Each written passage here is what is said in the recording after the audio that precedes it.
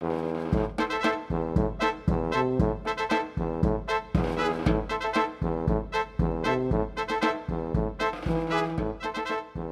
day, I'm your host, D.S. Gusting, and I welcome you to the Regency Society of Virginia's Introduction to Regency Slang. Today's word is chub. You might use this term to describe a foolish person who's easily taken advantage of. For example, your friend Tom Muggins comes grinning into the public house saying this navy chap just offered him the king's shilling.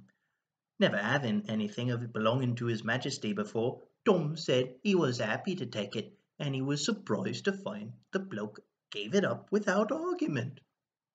You turn to your friend saying, Muggins, taking the king's shilling means you've volunteered for the navy. Say farewell to Mrs. Muggins, and I see you in two years, you utter chub. So, until next time, I'm your host, D.S. Gusting. Save me a point.